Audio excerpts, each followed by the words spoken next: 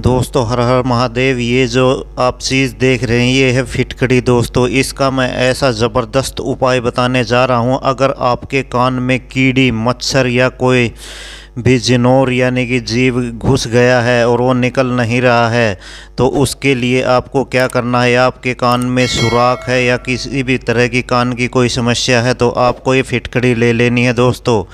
इसको आपने तोए पर रखकर अच्छी तरह से भून लेना है और इसका पाउडर बना लेना है दोस्तों। इसका पाउडर आपने बनाकर मामूली सा जैसे ये चिटली उंगली का नाखून होता है, इतना सा लेना है और कान में डाल लेना है और किसी खोखली चीज़ से फूंक मारनी जैसे पेन ही ले लिया, उसके आगे पीछे से रिफिल निकाल कर उसमें फूंक मारनी है। इससे आपका जो भी कान में जिनोर है वो मर जाएगा और बाहर निकल जाएगा दोस्तों, और कान की समस्या आपकी ठीक हो जाएगी। धन्यवाद, जय हिंद।